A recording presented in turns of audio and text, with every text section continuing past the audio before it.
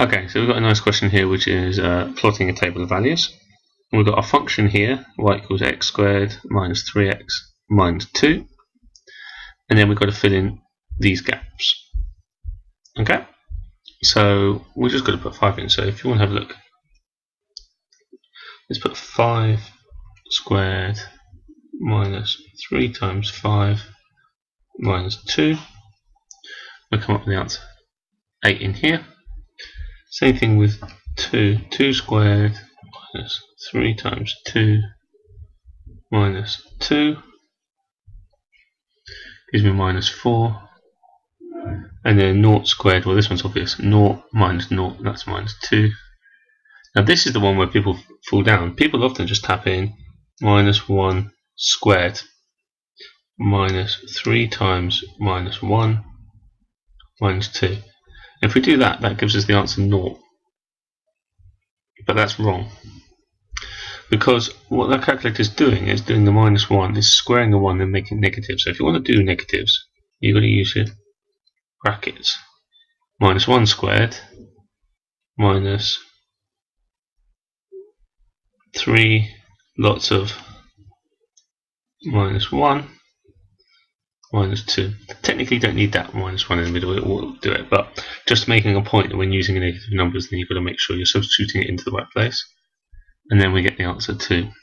Now that is a much better answer because if we spot the pattern here, we've got minus 4, minus 4, minus 2, minus 2, 2, 2. And that's because this is a quadratic, it's symmetrical. In this case, it's symmetrical between 1 and 2 here. There's our line of symmetry.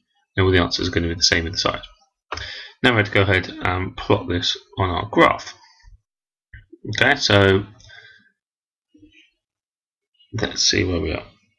So 5 goes to 8 up here. So put a point in there. 4 goes to 2.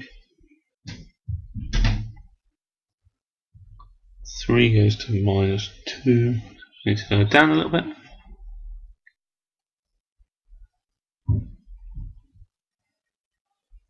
Two to minus four.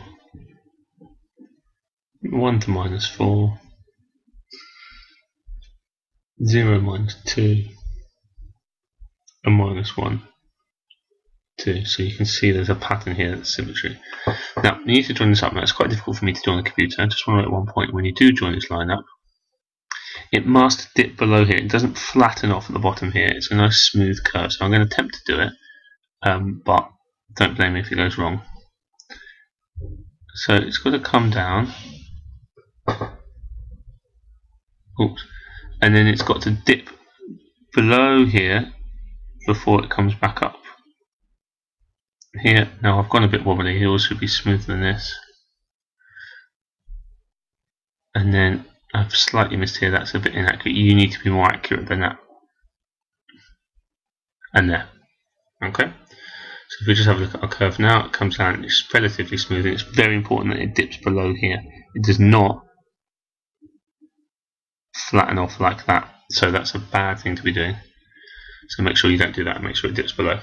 Okay, if it was one point where it's the lowest point, it would dip at that lowest point. But because there's two, it must go below before it comes back up.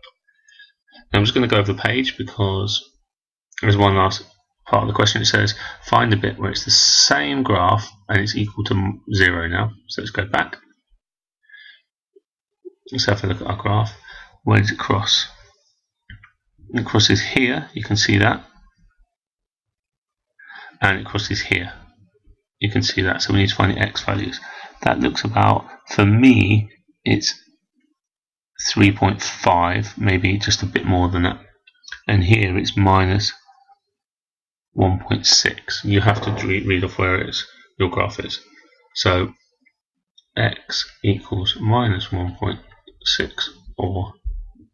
3.5. The is going to be looking to see that you've got two values, but you've also read them correctly off your graph.